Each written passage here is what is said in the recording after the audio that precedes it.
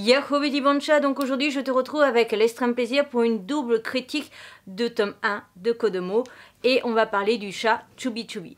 Ce chat Chubi Chubi a deux titres. Le premier qui s'appelle donc Chubi Chubi mon tout petit chat, mon chat tout petit pardon, et on a aussi Chubi Chubi mon chat pour la vie. Donc je vais juste te mettre les informations à côté de moi. Pour ce qui est de Chubi Chubi, mon, chat pour la vie, c'est un manga terminé en 8 tomes, des éditions Soleil.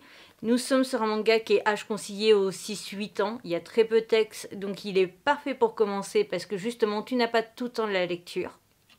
Tu n'as pas euh, toutes les pages de tonnes de trucs à lire, donc c'est parfait justement pour commencer. Et euh, Chubi Chubi, mon chat pour la vie, on va suivre Chubi Chubi, version adulte et ses bêtises, etc., ou ses aventures en tant que chat adulte. L'auteur a d'abord écrit cette série, puis en fait, l'auteur a commencé à écrire aussi Chubi Chubi, mon chat tout petit. Et donc dans ce manga, on va avoir tout simplement les aventures de Chubi Chubi, mais au moment où il est arrivé chez sa maîtresse, au moment où il a fait ses premières bêtises, etc. Donc ce qui est bien dans ce titre, en fait, c'est qu'on a deux points de vue. On va suivre les aventures et d'un petit chaton, mais aussi du coup de la version adulte. C'est juste au top. Et donc là, je vais directement te donner mon avis sur les deux histoires. En tout cas sur les deux premiers tomes. Pour ce qui est des premiers tomes, donc Choubi Choubi, mon chat tout petit, donc on va voir toutes les bêtises des chats au tout, euh, tout, début, tout bébé, etc. On va voir du coup son caractère qui est assez grognon. Et on va voir donc la petite mamie qui a son chat, etc. C'est trop mignon, c'est super sympa, c'est agréable, c'est mignon, c'est... Oui, je l'ai dit deux fois, mais bon, c'est vraiment très mignon. Et euh, ce que j'aime, c'est que justement, on a le point de vue du chat enfant, du bébé, du chaton. Et donc, on voit vraiment le début où ça fait beaucoup de bêtises.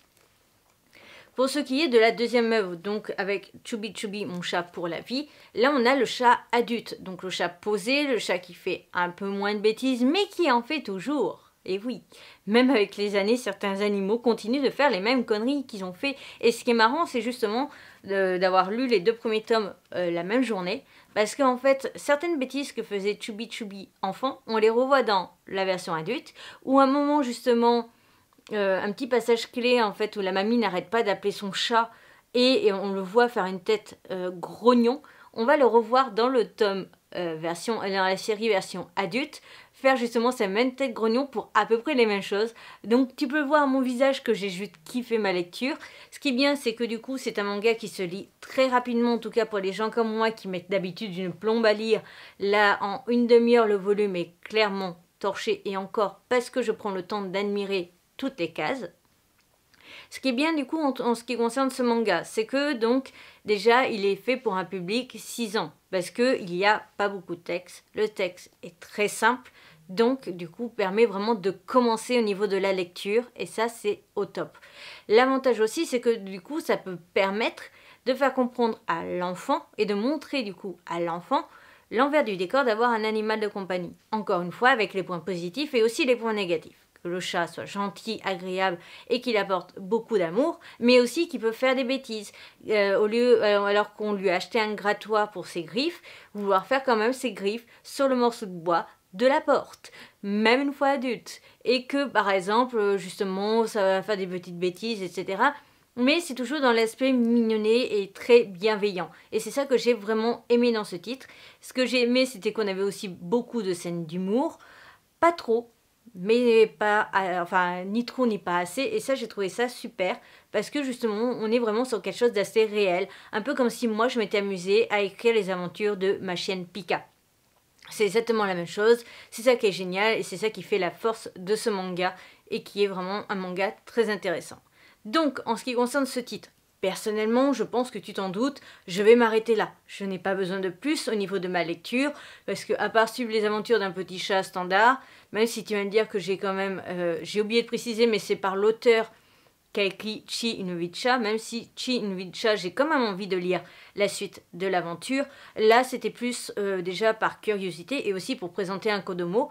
J'ai pu lire du coup les deux autres œuvres disponibles par cet auteur avec un autre chat. Et l'avantage aussi, c'est que du coup, je sais comment les deux titres, les deux histoires fonctionnent. Et donc, je peux, une fois de plus, pouvoir le conseiller, comme avec cette vidéo, ou quand je vais en boutique et si ça m'arrive assez régulièrement de finir par conseiller des gens.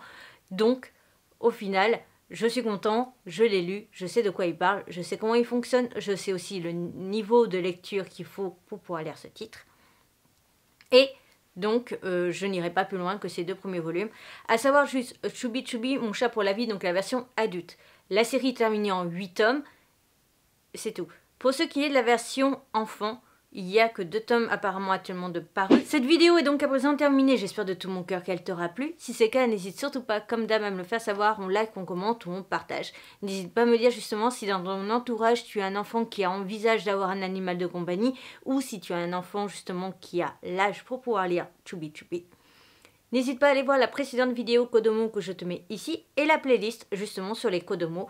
N'hésite pas à aller voir aussi, il y a des playlists par genre de manga shoujo, shonen, seinen, etc. Mais aussi par tranche d'âge. Et il y a tous les âges disponibles, sauf le 18 ans. Même s'il y a encore la playlist techniquement de présente, il n'y a plus de... Enfin, les seules vidéos que tu verras sont sur mon autre chaîne YouTube. Et après, tu as aussi par genre de catégorie, style bilan lecture, bilan manga, crash test, critique tome 1, etc. etc. Euh, présentation de drama, euh, et et autres. Bref, la vidéo est donc à présent terminée. Je te retrouve bientôt pour une nouvelle aventure. N'oublie pas de sourire quoi qu'il arrive. Mais ma tête de panda pour t'abonner, mes réseaux sociaux, le compte Vinted, des résumés dans la barre d'infos ainsi que plus d'informations. Sur ce, à bientôt